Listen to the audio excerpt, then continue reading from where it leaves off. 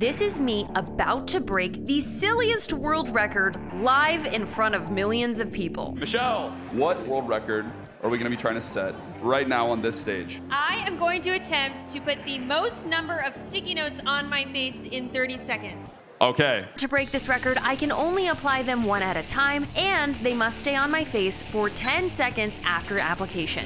The current record is 38. I've done some crazy stuff, but I've never been more nervous for a challenge in my life because they flew in the official Guinness World Record guy, Mike. And Mike doesn't f around. Three, two, one, go. Hive, let's go! Come on! Come on! Keep going, Michelle.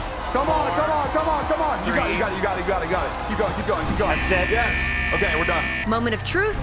Am I a world record holder? Michelle, you had 33. Nope, but we did win a Streamy.